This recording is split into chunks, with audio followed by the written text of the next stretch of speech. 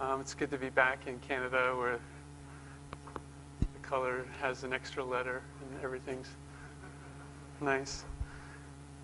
Okay, so today I'm going to talk about sound synthesis, which is something we sort of just recently started working on. Um, so the future sounds good, the coming age of physically based sound rendering. So this is work with uh, a number of my students and uh, also Dinesh. And uh, so the basic motivation for why we should do sound rendering of physics is, is kind of interesting. Uh, we basically have this great story in computer graphics and physically based animation where over the last uh, three or four or five decades, we've gone from early beginnings in interactive computer graphics, beginning with pictures of Fred Parke's wife and early ray tracing of uh, spheres and so on, all the way up to very sophisticated systems for rendering uh, computer graphics and realistic characters and physics and interactive interfaces, all converging on this very highly sophisticated systems for rendering physics and graphics and lighting uh, interactive and parallel rates, which is going to push off into the future and become you know, even better and, and, and more unbelievable than ever before. And if we just sit back and, you know, as wait for the singularity to approach, then it'll become this incredible immersive experience and it'll be all very wonderful. And so at this fantastic time, we should take and pause for a moment to think about what this man is doing in the picture. Um, so, you know, you know, can't resist. Uh, what is he doing actually? And um, so actually he's making the present sound better because currently, uh, you know, we lack a lot of algorithms for actually rendering all kinds of different things. So you have to sort of put the sounds in any way you can. And, and this makes a lot of sense for movies for all kinds of other reasons. And this goes back to early work by, by this fellow, Jack Foley, who introduced Foley artistry into the, into the motion picture industry with hits like Showboat, Dracula, and Spartacus for you know, putting in sounds of heroine slamming doors and, and swords clanking and all kinds of things that are otherwise hard to get into your movie. And this sort of improved the realism of all kinds of uh, different motion picture stuff. And so it's been such a hit that, you know, now in the 21st century, we have super duper, uh, you know, approaches to that, like Skywalker Sound, where you send the, your movie and they'll add this over the top, uh, better than ever um, sound effects. And they can do this for movies and make sound recordings for video games and get sound where you need it. And it's, it's you know, works really well. Um, so at this point, we basically have an interesting scenario, and I can't resist making this video either, uh, off by 100 error in the date slightly. But we basically have these fantastic algorithms for doing physically based animation of fluids and cloth and all kinds of amazing stuff. And we just add the sound in at the end, right? So it's just the same as it was 100 years ago.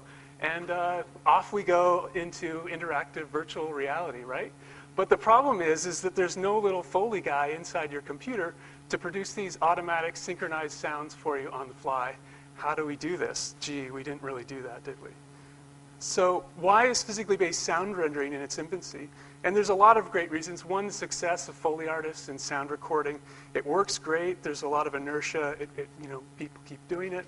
Other reasons, like the acoustic community is focused on things like making quieter mufflers or placing sound sources in virtual environments, but not really worrying about where the sound source actually came from, except for really important things like speech and musical instruments. And so at this point, there's really a lack of efficient algorithms for computing sounds for all kinds of physical sound sources, like objects crashing around, breaking, splashing fluids, all kinds of all kinds of different things, anything you can hear.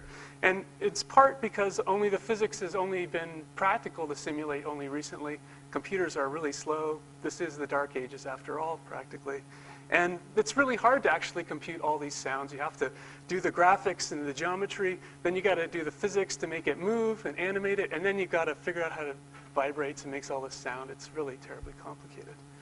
Um, so what I want to talk about in this talk is how we can go about making methods for automatically producing sounds for anything you can see uh, and hear around you. And so the basic approach I'm going to talk about is abstracted in this example, where we basically have any object. Say we look at an object colliding with the ground like a plastic water bottle, and there's some vibration. This vibration may be nonlinear. It's some structure, it vibrates. We can compute that. It may take days. Hopefully, we can speed that up. And then there's some radiation that comes out of there. Every little vibration mode, say, of this object will produce some sound field around it. And we can figure out that radiation field by trying to solve the wave equation or something like this. And then finally, there's you. And you convolve yourself with this sound field and hear some interesting groovy vibrations. And that's ultimately what we want to compute. So we want to do time domain synthesis of all these kinds of crashes and bonks and splashes and whatever. And, and that's really what we're talking about. Okay, so I just wanted to give you some preview before not make you stay to the end of the talk to hear sounds. So here's some examples of some sounds that we computed just this year. Um, this one is for computing vibrations of elastic structures like thin shells that vibrate in a nonlinear way.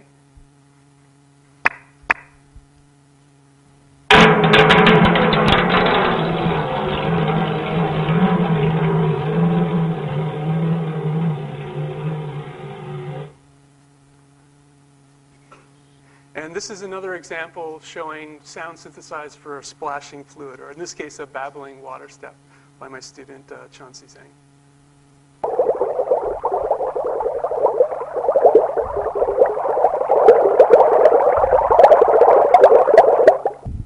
So in both of these examples, we've used, you know, our technology for computer graphics and physically based animation to make things move.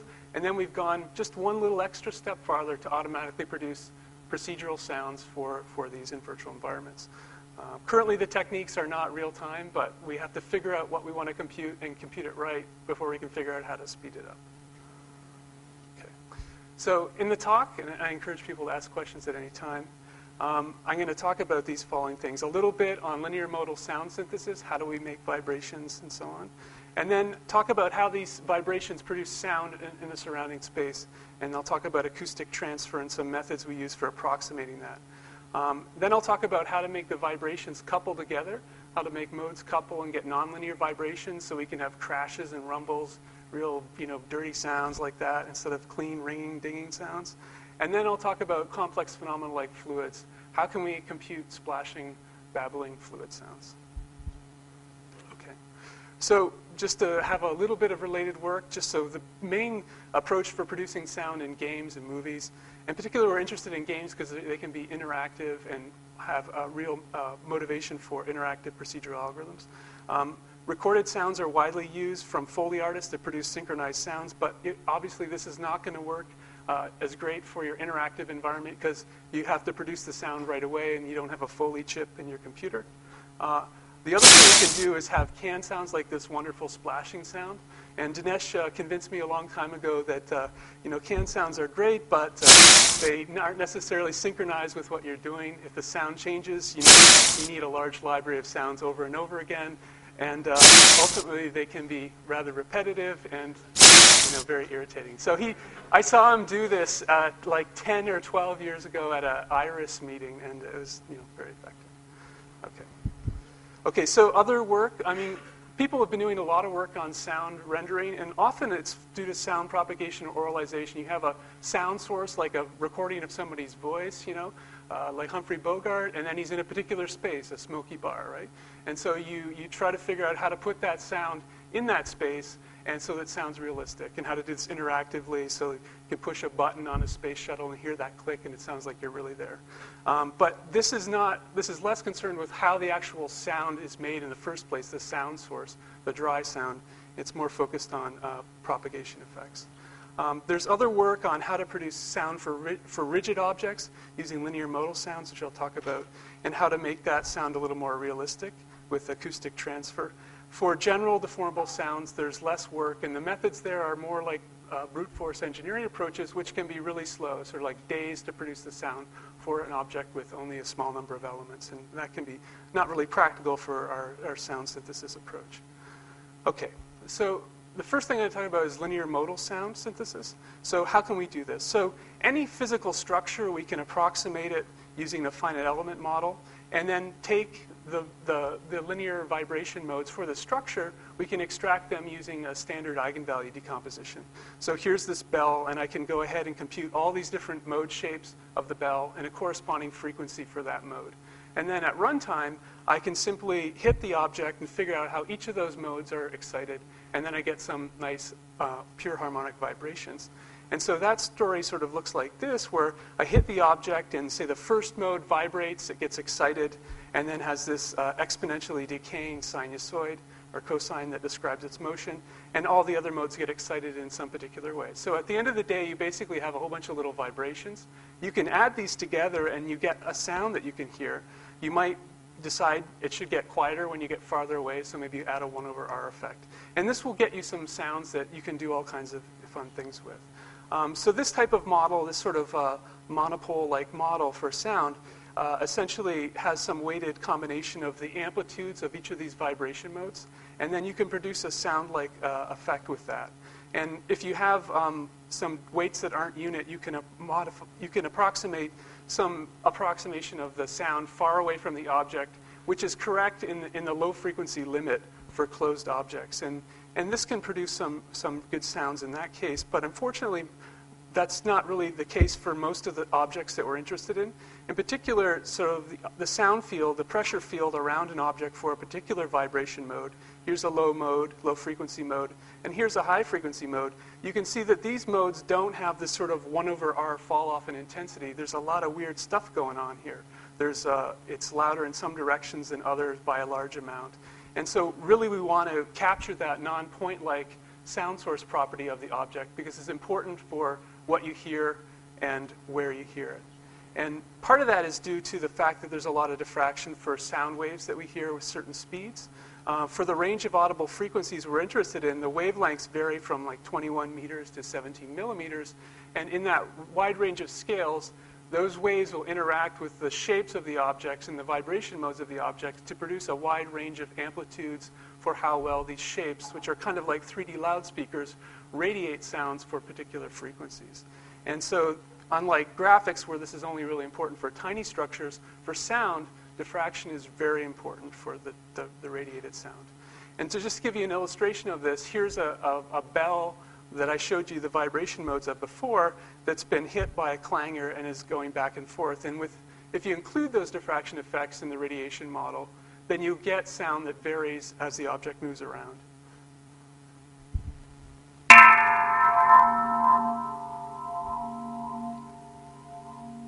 And so here you can hear, I hope, the, di directionality effects of the object. And uh, here's an example without that. You just render it as a point source, and you're missing that directionality effect. Plus, the actual sound is inconsistent with the wave radiation models uh, of, of the vibration.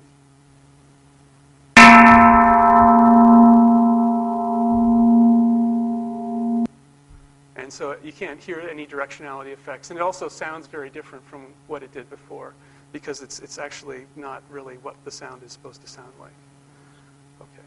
So the, the thing we want to do is then if we have some object that has some vibrations, how can we figure out what the sound is going to be like at some point in space? And we can do that by modeling acoustic transfer for these vibrations. So here's a simple way to, to model the transfer. So there's some sort of pressure field, which is a complex valued field, that describes the wave, wave, the harmonic waves around the object. And if we just look at the amplitude of that function, it sort of tells you where it's loud for that particular vibration mode. And we can compute these transfer functions for every vibration mode of this rigid object, and that'll tell us where that mode is loud.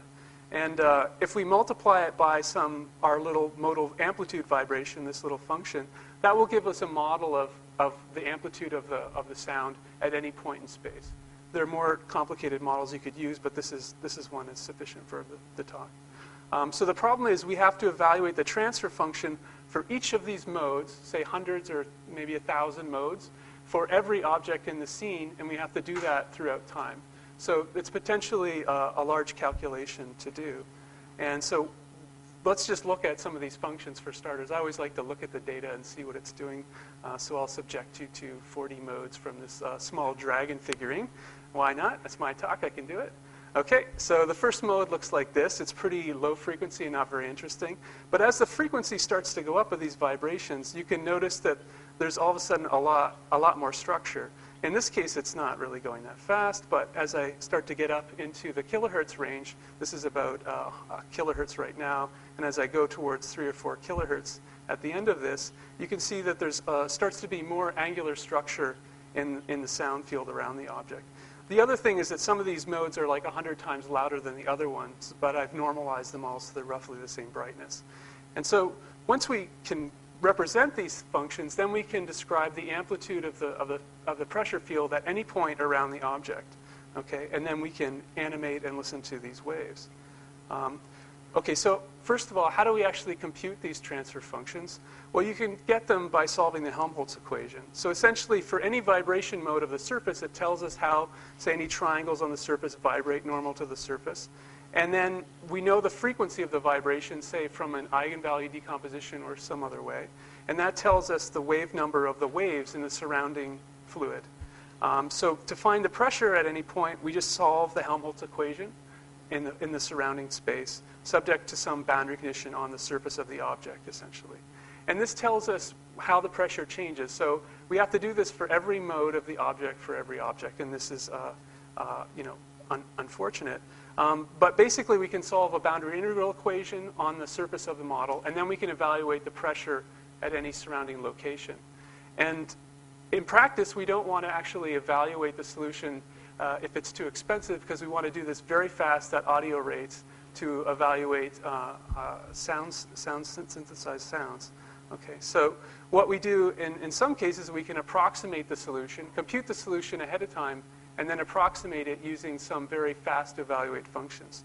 So the basic story is we have this pressure field, and what we can do is find a, a bunch of simple sources that we place inside some, some offset surface, which also produce a similar field and satisfy some boundary conditions on, on, the, on the region.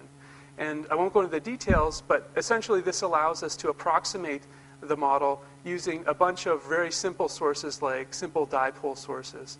Uh, and in practice, this works pretty well, but you need a lot of sources to approximate the function because as you get to higher and higher modes or higher and higher frequencies, the number of sources you need increases because the sound field becomes more and more complicated. And, and so this is fine. We can use more sources to approximate the sound field, but it also becomes harder to build these approximations, and then at runtime, it's more expensive to evaluate. So one really simple thing we've done lately is just use a simple texture map approach, which turns out to work quite well.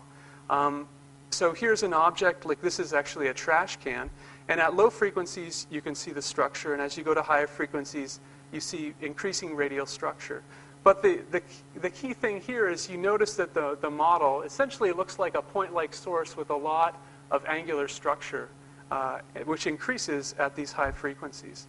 So the approach that we use is, is really simple, and it works quite well. It's basically to consider the pressure about the object as essentially a point-like source multiplied by some expansion in increasing uh, orders of 1 over r functions.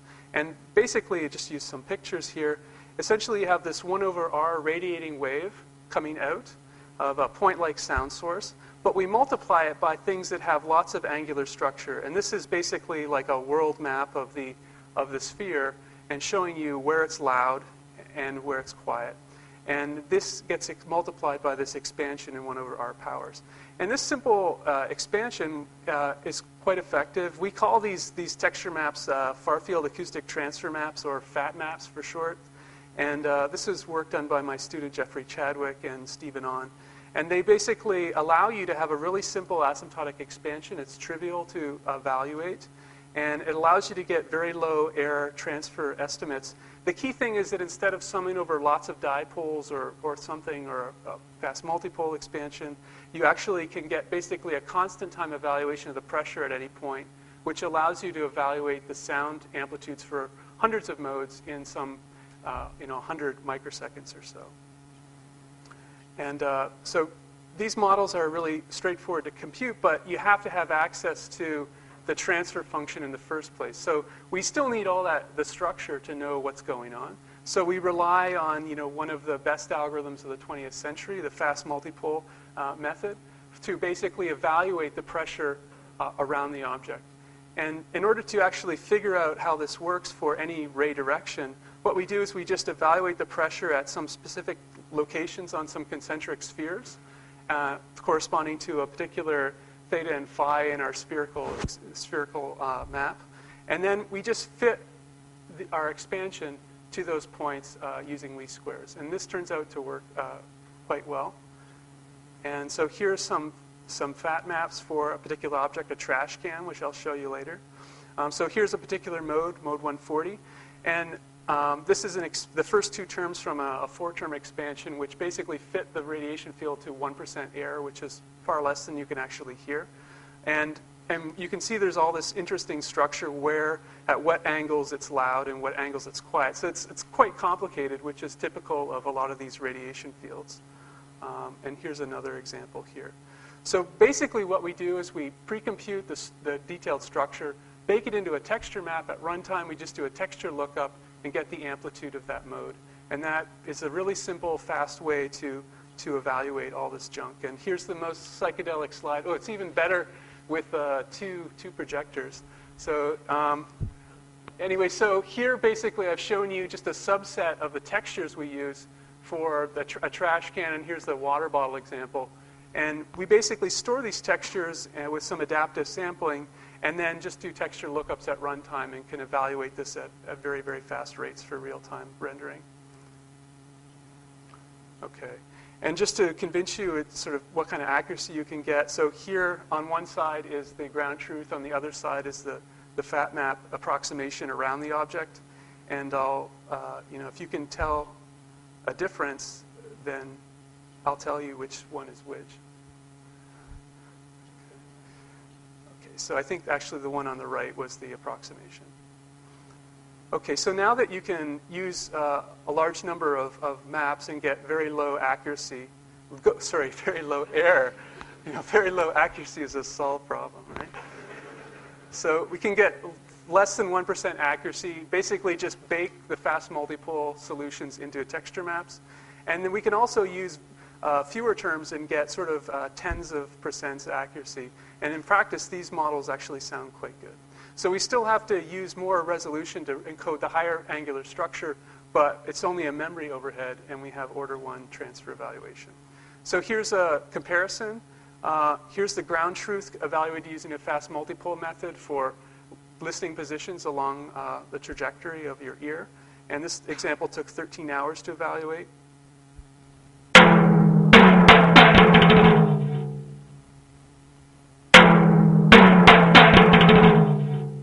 Um, and so the, the sounds should sound pretty similar. Uh, I can't tell the difference. Um, the main benefit is that we just bake the, the model, the, the, the, fancy solution, into a texture using least squares. And here's an illustration of what it sounds like if you use more textures or fewer textures. Uh, this one with one texture is on the order of tens of percent accuracy, but it's very uh, hard to hear the difference when you're farther away from the object.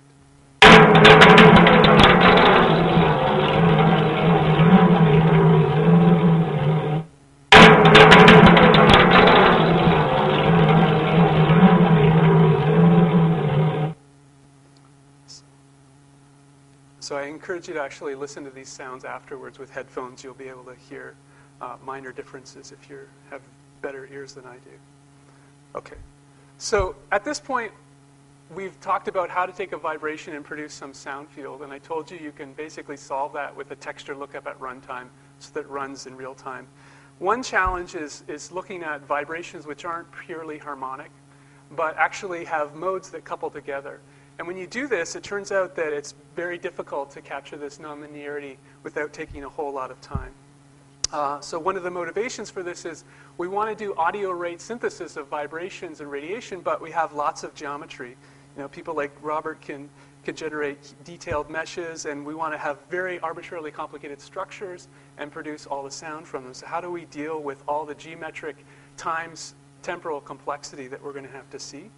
Uh, here's an illustration of one of the challenges. You can just use traditional methods to time step the vibrations. So here's this water bottle with only tens of thousands of triangles. If we just do a standard explicit Newmark time stepping scheme, we get a sound, and then we can do our, our reduced order model, which I'll talk about in a bit.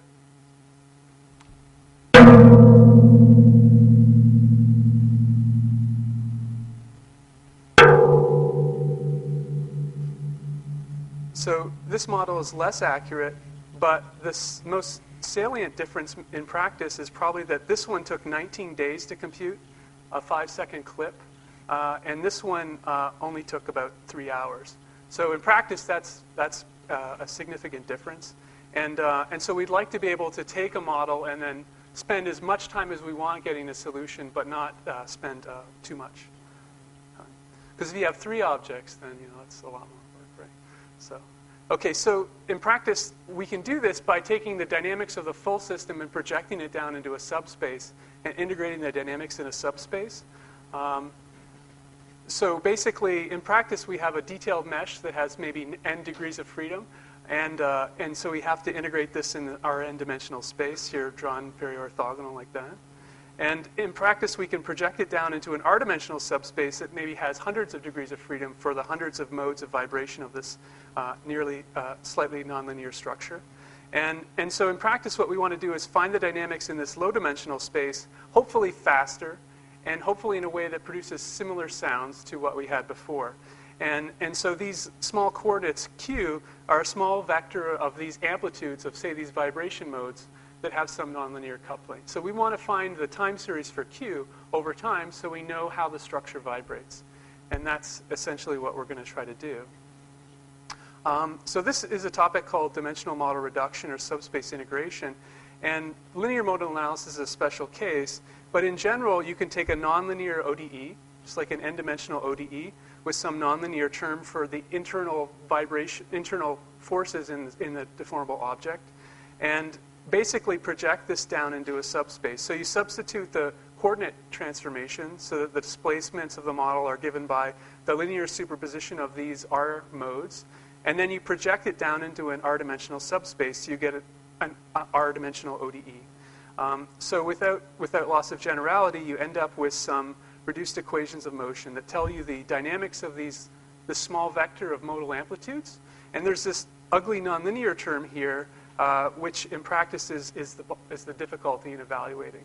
But if we can evaluate this, then we'll be able to find out the amplitudes of these modes, there can be nonlinear coupling, and we'll get these crashing, rumbling sounds that are characteristic of, of these sort of more chaotic coupled motions. And you already know the, the, the, simplest case of linear modal analysis. So it turns out that that internal force in the subspace is, is when you do linear modal analysis, you linearize things and decouple uh, the dynamics. And so the force response of any of the modes is only proportional to the amplitude of that mode. And you get this nice linear force response. And you can integrate this in basically order R time for R-dimensional uh, system. And this is the, the key to linear, linear uh, sound methods for modal analysis, why they're so fast in real time. In the general case, uh, this is uh, expensive because you have to deform the model using this linear superposition, get the forces on all the vertices, and then project them back into the subspace. The picture looks like this. You start off with the amplitudes of, say, your 200 modes. You deform the mesh into that new shape, which is expensive because it depends on all of the degrees of freedom, the big N degrees of freedom in your system. And then you evaluate the forces, get the forces on all the vertices, and then project them back down into the subspace to get the small little r-dimensional force vector. And that's, that's the process to evaluate the forces, but it's expensive because it depends on big N, essentially.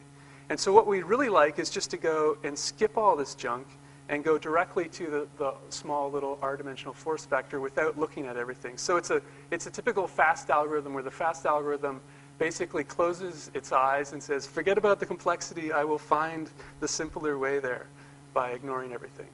Okay, so basically what we're going to do is, is, is exploit the fact that the force is actually the gradient of some energy function.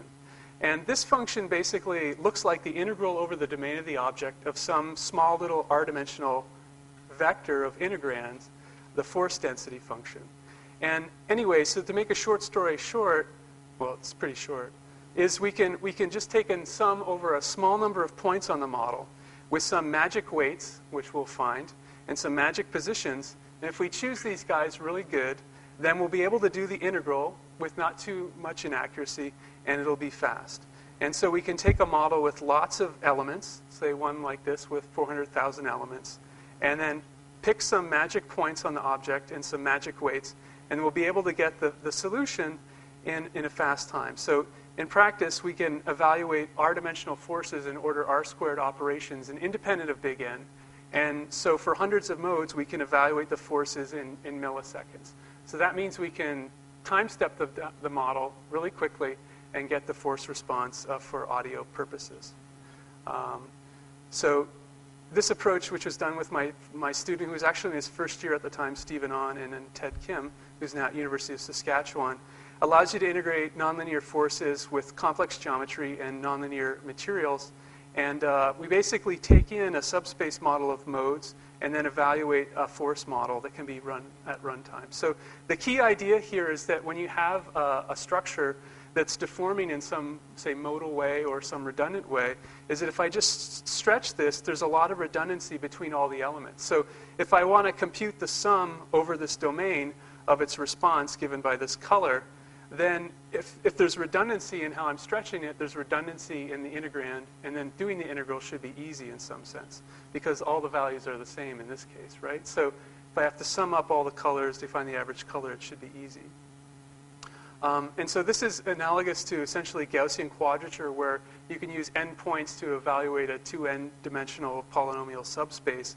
But now instead of just a regular, you know, just a uniform interval, uh, we want to actually find a quadrature scheme that can integrate a function on an arbitrary shaped domain. It could be Gumby or a bell or whatever, and it, for some arbitrary deformations and nonlinear responses. So there's some subspace of functions we want to integrate on a weird domain. What is the scheme for that domain? That's all we want to do. So uh, we basically use a, an approximation scheme that says, give us the model and how it deforms and the forces, and we basically figure out a subset of, of, of elements to evaluate on the model such that we can only spend uh, a, a sublinear and big N amount of time evaluating the cost. And so in practice, we can do this in order R squared cost. So just to summarize, we take in a model uh, which has some modes of, of vibration that say we get from linear analysis. And then we deform this nonlinear model into a bunch of weird shapes, which are typical of the kind of shapes we're going to see for our forces in, sound synthesis. And then we optimize our cubature so that it can produce similar forces uh, in the training process. At runtime, then, we just sum over the small number of elements to get, to get the force response for the system. And, uh, and this can be made fast. So I'm not going to go into why it's order r squared. Uh, I'll just briefly mention how we actually train the system which might be interesting for some people. Um, so we basically have a bunch of poses of the object, a bunch of different Q amplitudes for weird little vibrating shapes. And then we know what the forces are in, that, in, that, in those poses, and we can compute those ahead of time using the brute force approach. And so given these, this training vector, we basically can do a function approximation for f of q. Uh, instead of using radial basis functions or something which may be hard to train or overfit or lack positive definite stiffness matrices, we use a, a non-negative least squares training method which picks a bunch of points in some magic way and then trains the weights so that they best fit the, the model. Um, so if we, if we have a bunch of points, we can train the weights using non-negative least squares. So we use non-negative least squares because then the weights are positive, which is good for a quadrature scheme in, in this particular case. Um, and essentially, given a, a, bunch of locations on the model, we can find the weights that correspond to it to produce the force sample for a given training pose T for a given shape of the model. And then in practice, we use a bunch of shapes, uh, capital T different uh, training poses to train the model. So given a set of points, we just optimize the weights using non-negative least squares, which is an efficient way to, to do that. Um, because some of the models poses may be deformed a lot and have really huge forces, we normalize uh, by the uh, amplitude of the forces to basically fit uh, the relative error instead of just the uh, total force values. Um, and so we use a simple greedy subset selection approach, which says essentially the following. So if we have a fit to the model, where we have some uh, AW minus equals B model that we're trying to fit, and then we have some residual error that's not quite approximating these forces, then we can try to find a, a new column to add to our basis. And so we basically choose a bunch of random points, for example, on the object and say, let's consider these guys for, for new cubature points. And then we look at the one that's most positively aligned with the residual, and then we can add that to our basis for our matrix, and then update the weights for that using non-negative least squares. When you do that, then you get a new residual. Hopefully it's smaller, right? And then you uh, estimate a new column to add, which is most positively aligned. And you incrementally do this to find a set of points and, and training them as you go. Um, in practice, we can try to not evaluate all the, all the possible, the, the, matrix can be really large if we consider all the points in the model. And, and to avoid that, we basically use a subset of, of these points uh, in practice or, or, limit the number of rows. Uh, but the, the general problem is given, given a model for AW equals B, for all of the possible candidate points, find uh, the sparsest set of, of weights on the model such that the error is bounded and uh, the weights are positive. And that's essentially what we approximate. Okay. So the key thing is that for a given number of dimensions, uh, a given rank of the model R, we only need uh, a number of cubature samples which appear to be order R in practice. So they're linear with the number of dimensions, uh, which is great because it, it leads to an efficient algorithm for runtime, an order R squared algorithm, which we can use for sound synthesis. And uh, we also compared it to other approaches such as Monte Carlo, where we pick points at random and use uniform weights, or if we pick those points and then we train the weights, versus our approach, which optimizes the positions and the weights. And in practice, we see that uh, the Monte Carlo converges slowly. You know, have to take a lot of samples to make it work. So if you're only taking one sample per dimension, it's not going to converge very quickly. And if you optimize those weights, it's slightly better. But if you optimize the points and the weights, then it tends to converge uh, much more rapidly. Um, so here's an example, to get back to the sound synthesis story, uh, of a plate modeled using 400,000 tetrahedra. And in practice, we can use uh, 900 cubature points to get a, a relatively low error. Uh, and this allows us to speed up the sound synthesis time uh, by a large factor. And so it goes from days to hours. Um, okay, so here's an example.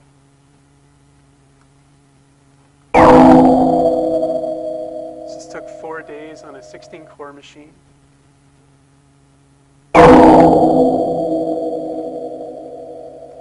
And it sounds indistinguishable even though it took hours. And the linear model sounds distinctly different, but it runs in real time.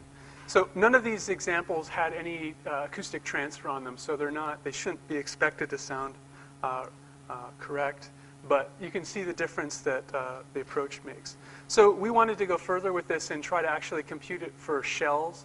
Uh, in practice, uh, harmonic shells are, sorry, thin shells are actually interesting models because, because they're thin, they can bend very easily, but they don't like to stretch. So if you compute vibration modes and they try to stretch the surface, they won't be allowed. So it turns out that the modes couple together very strongly and produce nonlinear vibration effects, which produce rumbling and crashing and characteristic, you know, garbage can kind of sounds.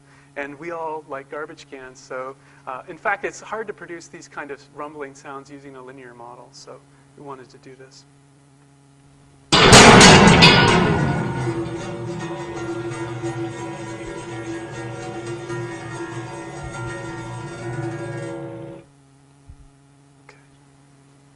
Okay, so basically this, this, uh, that method is computed using harmonic shells, which is basically the far field acoustic transfer maps, this fast evaluation of accurate transfer with uh, the thin shell cubature scheme. And so we basically extended the cubature approach to thin shells, which is relatively straightforward.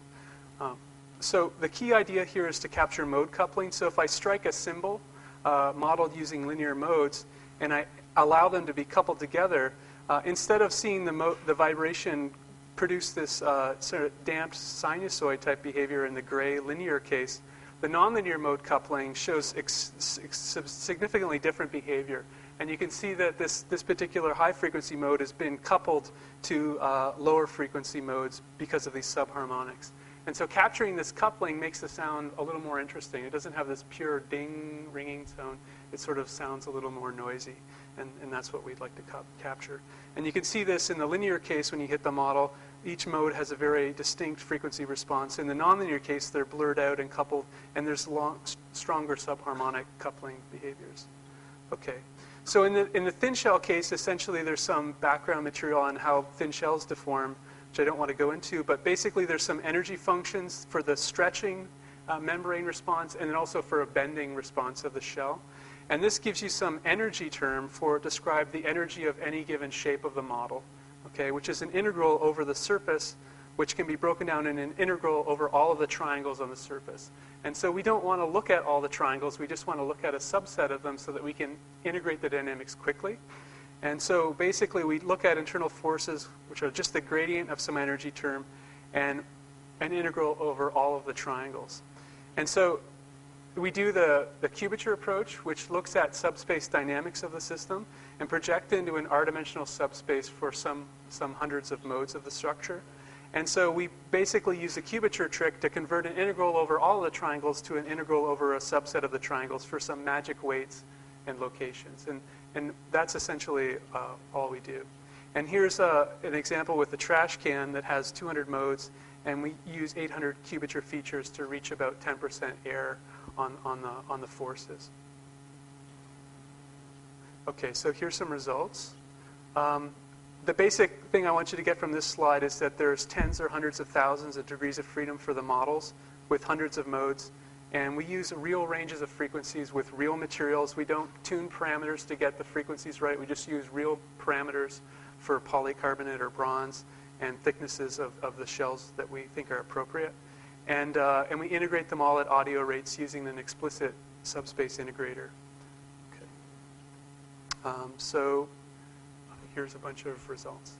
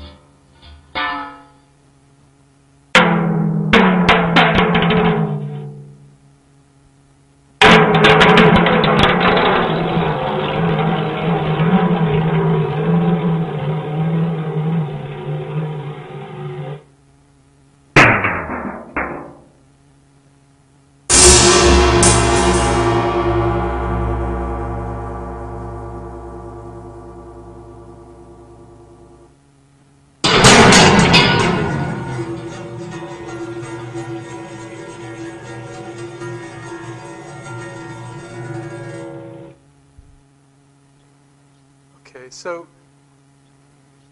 I'll skip that. Um, so in practice, these simulations took on the order of a couple hours to evaluate in each case and, and not in the days range. Um, in each case, we use the cubature scheme to evaluate the forces. Here's an illustration of just the error of using the cubature scheme. Um, one of the major benefits is that you can take large time steps in the subspace model, but you can still see the effect of the error.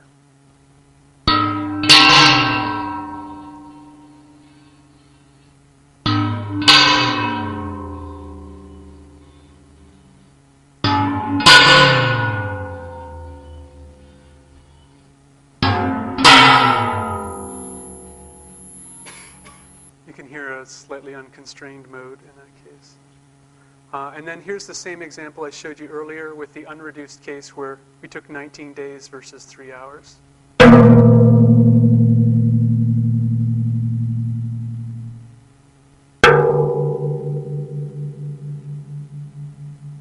And if you increase the accuracy of the cubature, you capture some more of that bassy, low frequency, which is otherwise too stiff. Okay, we also compare to other methods so we can see it's hard to actually evaluate the, the ground truth answer, so we compared it to other methods to see how they, uh, what sort of results they produce. We did four cases. One is the nonlinear subspace dynamics with the FAT map transfer, which is this harmonic shells approach. We also compared to previous linear vibration models with the, with the transfer. And uh, we also compared against linear dynamics with a simpler monopole sound transfer model.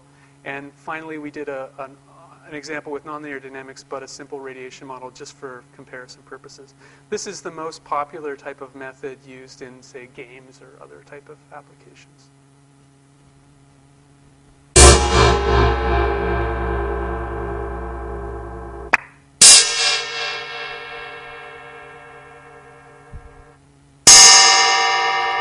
So this is a large ride cymbal, just for reference.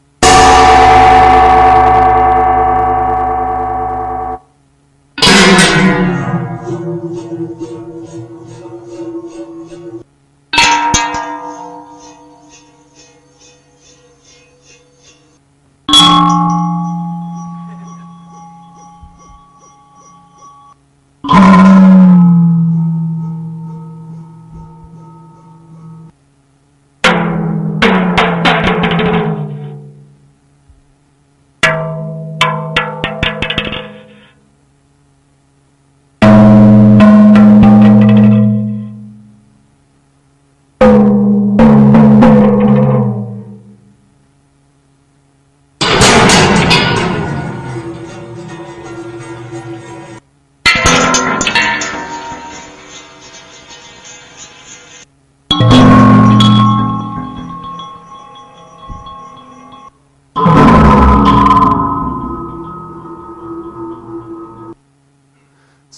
our results are only approximate, hopefully you agree that there's capturing some of the nonlinear vibration and sound radiation in a, in a you know, principled way is, is a useful thing to do. Um, so the last, the last thing I wanted to talk about is, is our work on um, synthesizing fluid sounds.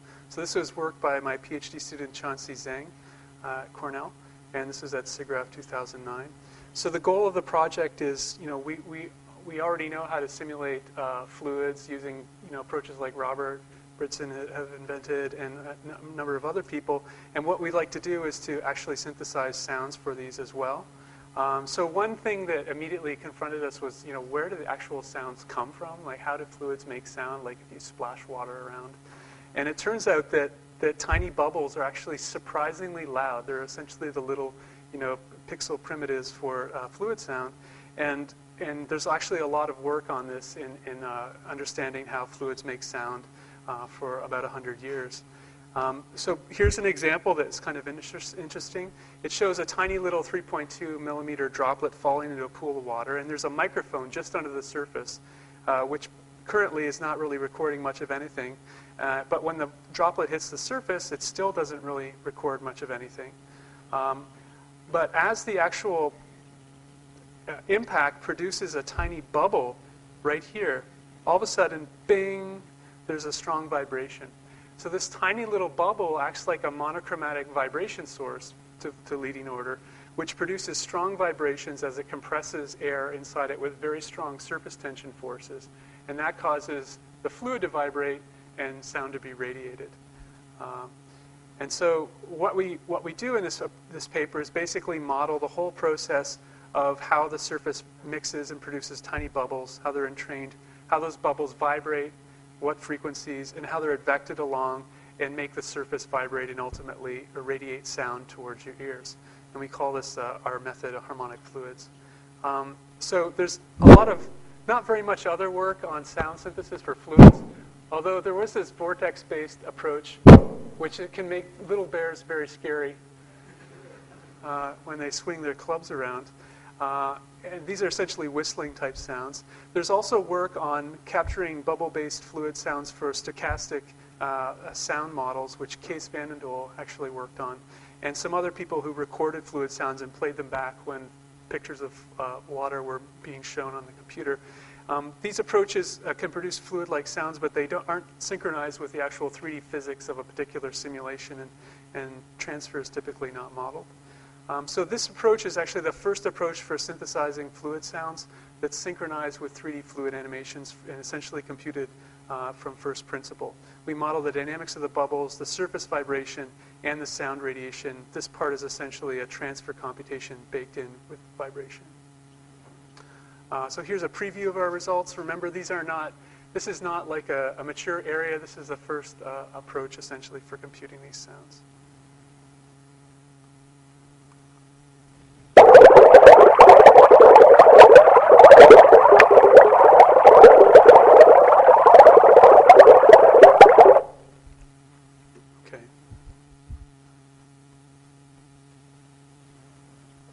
Okay, so what I'm going to talk about then is the pipeline for computing that sound. Um, the first step is to simulate a bubbly flow where we have some fluid splashing and then making little bubbles. And then the second part is essentially, uh, you know, we, we can simulate these bubbles and how they vibrate and move around. And then at some point, it's going to make sound. So we have to model the process by which it vibrates the surface and then produces sound radiation in the air. And this is essentially a Helmholtz radiation problem. And then finally, there's the process of actually listening to the sound and integrating it at runtime. Um, so the first part is simulating the fluid. So instead of actually time stepping the fluid at audio rates and simulating compressive waves in this complex fluid domain, we decided to use uh, standard proven approaches for simulating fluids that are used in graphics for, for visual simulation. And in particular, we use a method that Robert invented for, for simulating uh, incompressible flows uh, using the FLIP method. And, and so the main benefit here is that we can exploit the fact that uh, even though we really maybe would like to time step everything at audio rates and capture things, um, in practice, the wave speed for, for sound waves and fluid is like a kilometer and a half per second, right? So if you have a little thing of water that's vibrating, uh, those waves, they're traveling and bouncing around in there so fast that we really don't want to have to time step them bouncing around. We just want to capture them essentially uh, inside this 3D loudspeaker that's changing shape and moving around and vibrating in some particular way. So we basically compute the flow and the shape of the fluid and then do a vibration analysis of it as it moves along, vibrating at the particular frequencies of the bubbles, and then use linear superposition of the bubbles to figure out how they all produce sound together. So the actual process of modeling bubbles, how they are entrained and produced, is complicated and essentially subgrid uh, scale physics. We have a simple stochastic model that basically models how surface particles are, are mixed together and get in, trapped below the surface and, and produce uh, bubbles. So this is a sort of a stochastic process that runs along with the fluid simulation and can figure out places where lots of mixing is occurring and produce bubbles of, of appropriate scales. Uh, the actual process of bubble creation is, is far more complicated. Uh, the next part is how the bubble vibrates. And, and so essentially, you can think of the bubble, the leading order, as just a simple sphere that has some tiny radius pulsations. And this produces most of the sound that, that it's making. So it's been well known for almost 100 years that, that you can model these dynamics using a simple harmonic oscillator where the amplitude of the vibration satisfies some sort of first order, or sec, sorry, second order ODE. And so the parameters for like the damping and the frequency and the bubbles mass can be looked up, and there are well-known formulas for modeling these sort of things.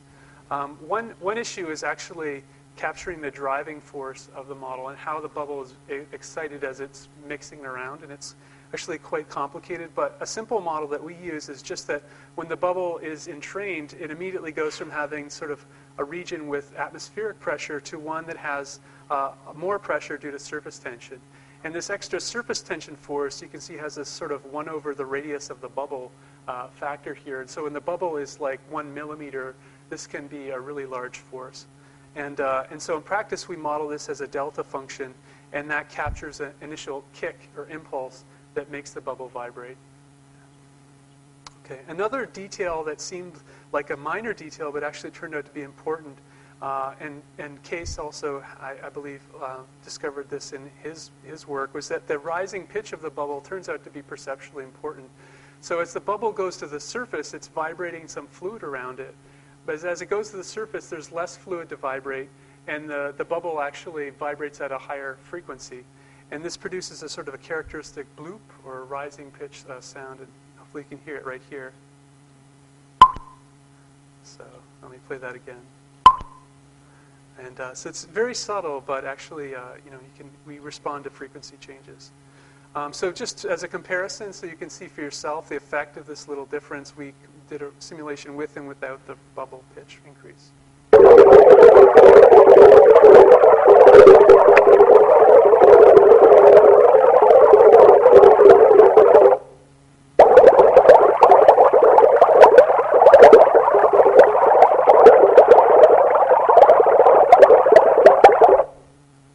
So hopefully you find the second one more, more um, makes you thirstier, I guess. Okay.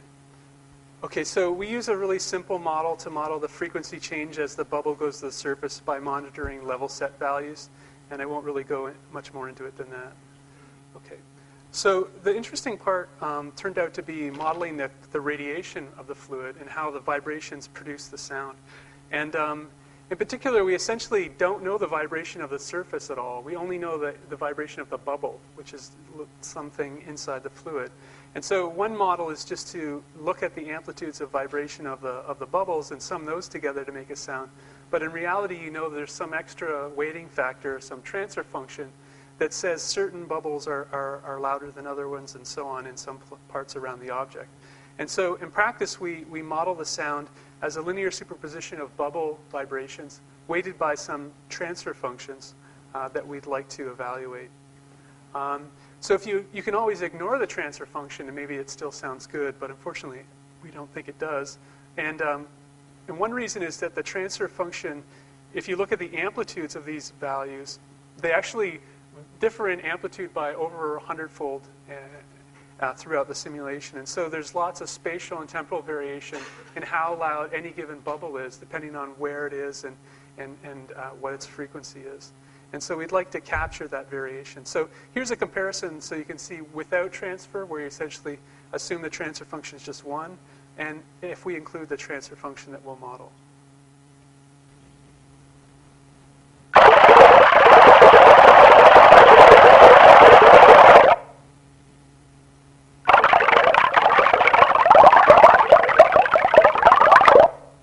So hopefully you found the second one slightly more interesting. Um, it's also, I should mention that, again, this, this, this, this listening environment is slightly non-ideal. If you listen with headphones, you'll actually be able to hear the sounds better. Okay. Um, so the basic problem we have to do is figure out how a bubble inside the fluid produces waves that radiate to you, out to your ear. And we can model basically the bubble as a little divergence source inside, inside of the fluid that's producing waves and solve essentially the wave equation in the frequency domain or the Helmholtz equation. So there's some wave number which determines essentially the wavelength, and it's, it's different in the fluid than it is outside the fluid, which is irritating. Um, but we can solve it somehow to figure out this transfer function uh, subject to this forcing. So one problem is that we need to do this a lot.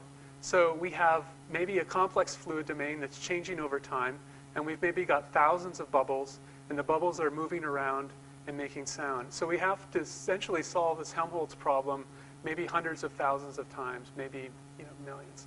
And so how can we solve this thing uh, that many times? Uh, we can u- do it by basically inventing a solver that's relatively low accuracy that can be run in parallel, and that's what we do. So we basically use a dual domain approach where we sim- simulate the vibration of the fluid by solving a fluid domain problem, get, figure out how the surface vibrates, and then use the vibration of the fluid to figure out how it radiates into the surrounding air. And that's essentially what we do. And we solve each of these using a boundary integral type approach, which can be made very fast. Okay. So just to give you, I want to give you a little sketch of how we do this. It's essentially like what I talked about before, where we can put equivalent sources inside an object to figure out, to approximate its radiation field. And so essentially there's a little bubble that's making some vibrations. And uh, essentially, we can think of this as the sound field, but it doesn't actually produce the right, the, the, match the boundary conditions for having no vibrations on the boundary and, and so on. And so we can have a source for the sound, but we need to add extra sources inside the fluid essentially to help it match the boundary conditions uh, associated with the problem. And so essentially, our model for the pressure inside the fluid is that there's some uh, source term due to our little vibrating monopole source, and then some other stuff we add. And we're going to try to find these magic coefficients such that they satisfy the boundary conditions uh, for this problem. And so we're just going to solve for the coefficients using least squares. In practice, we use up to quadrupole uh, vibration sources in the fluid. Uh, these are actually regular sources, so they're not singular. And, um, and so essentially the problem boils down to satisfying boundary conditions on the fluid surface and solid boundaries. What we need to do is essentially make sure what we, what we actually do is sample different locations on the interface and impose boundary conditions there. And this basically gives us a linear constraint on the coefficients, uh, just a plane equation for the coefficients, which we can assemble into a, a linear system and solve for the coefficients uh, to figure out what they are in a least square sense. So basically, it boils down to solving for some coefficients using least squares. Okay? And if you do that, then you can figure out, uh, as you add more sources inside the volume, you can better estimate the, the vibration of the surface to figure out what kind of vibration is, is producing the sound. Once you know the vibration of the surface, then you can try to figure out how that thing produces sound into the air where you listen to it. And it's essentially, uh, you know, we essentially do the same thing again. In this case, we place singular sound sources that will radiate sound to infinity inside the fluid. And then we're going to estimate the amplitudes of these guys such that they match the vibration boundary condition and the fact that the boundaries otherwise don't vibrate. And this gives us a model for the transfer function in the, in the air where we're going to listen to it. So we estimate the coefficients uh, using least squares, using quadrupole sources again in this case. And the only interesting thing in this case is that now we know how the surface vibrates, so we get an extra term on our right-hand side that tells us essentially how the, how, the, how the sound must be driven. Anyway, to make a short story shorter, um, we basically, as we add more and more quadrupole sources to the fluid domain, we can estimate the sound radiation uh, better. So these are very approximate uh, estimates of the solution. We can always solve for it using a full-blown Helmholtz solver, but remember that we have to essentially do this hundreds of thousands of times in order to estimate the sound for sound rendering. So we have Another issue is that the human hearing sensitivity is pretty limited in terms of the pressure accuracy, so we can use lower accuracy solutions. One issue that turns out in practice is that because these least squares problems are very ill posed and the geometry is changing over time, you have to worry about regularization of that least squares problem so you don't get popping noise and other noise artifacts.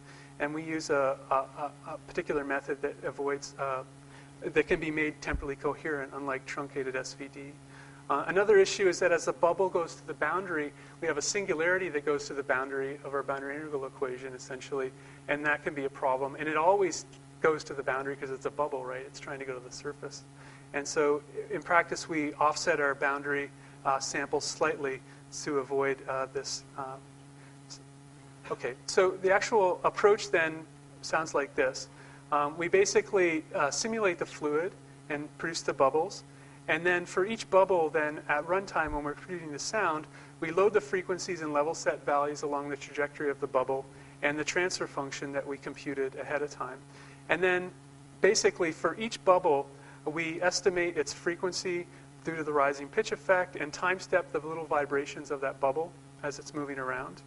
And then for the listener, we basically figure out how loud that sound is using the transfer function and a head-related transfer function uh, as well. And then we can use that to produce the sound at the listening position. And finally, that sound actually gets written out uh, to disk uh, or displayed interactively if it's a real-time application. Um, so in, in, this, in this example, all the sounds are computed offline ahead of time and stored to disk. We simulate the fluid on a 16-core simulate, uh, 16-core Xeon machine, and the sound is, is rendered in parallel on an 80-core uh, cluster. Um, so yeah, try headphones. It'll sound a little bit better.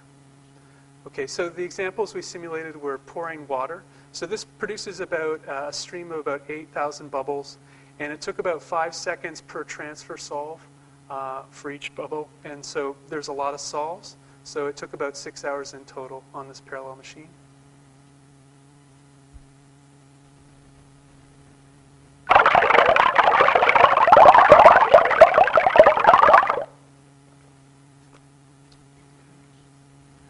So this is the actual surface velocity summed for all the bubbles that's occurring during the simulation. You can see the fluid moving, but very, very slowly because it's uh, These are audio rates. And we also synthesized uh, a volume rendering of the, of the sound field approximation, not because we need to to produce sound, but just to show you what sort of stuff is going on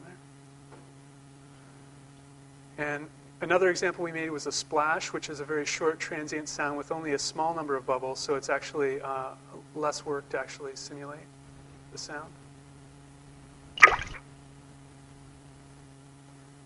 And then we also compared it to a real sound by swapping it in.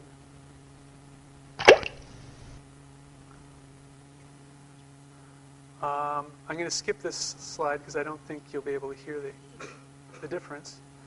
Um, another example we did was with just uh, a droplet, so it only produced 14 bubbles, uh, and uh, there's not a lot of transfer sols, so it's less work, although most of the simulation cost is fluids.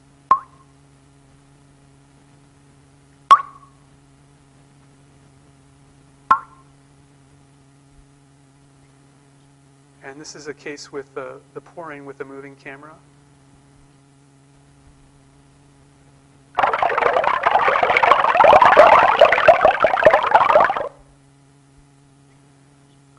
And fin finally, here's the babbling step.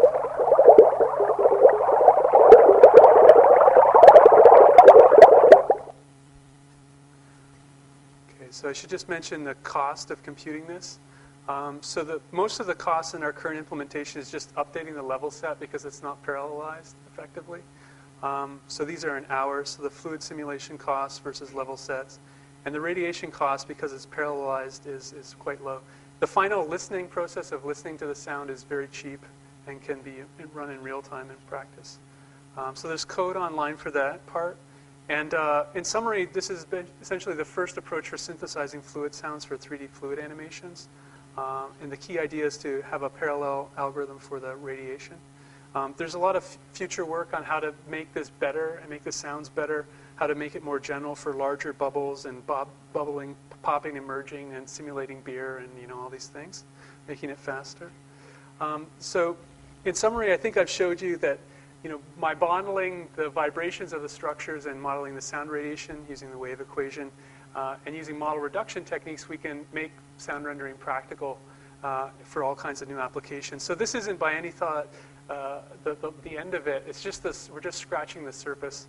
Um, so there's all kinds of things we can't compute sound for, such as like just crumpling paper or fracture sounds, all kinds of things like when you have not just an algorithm for one object or this object or another object in a separate case for everything, you really want to simulate everything together in a systems approach just like we do in computer animation. So that means multi-physics support. You know, how do you synthesize sounds for the proverbial car crashing into the burning stack of television sets?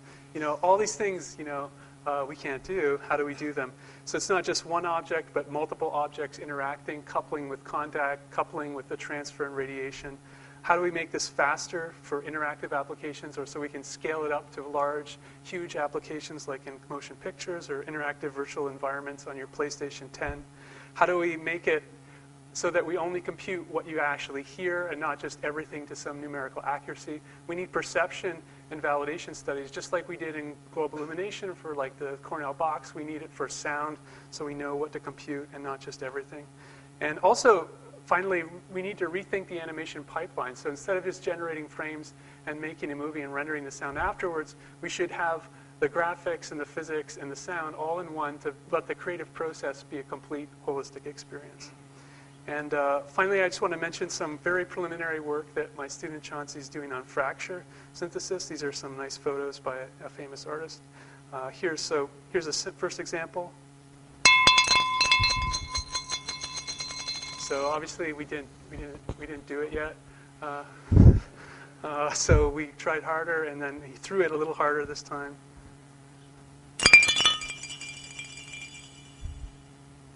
And uh, slightly differently. Okay. And so we're currently working on synthesizing two plates. Okay, so I'd like to acknowledge my students, uh, Changxi Zheng, Jeffrey Chadwick, Steven An, my postdoc Ted Kim, and other student Jernej Barbič, and also Dinesh for early collaboration and also just infinite inspiration during my PhD. And I'd like to thank our, our, our, our sponsors for all their support. And also thank you for your attention. Thanks a lot.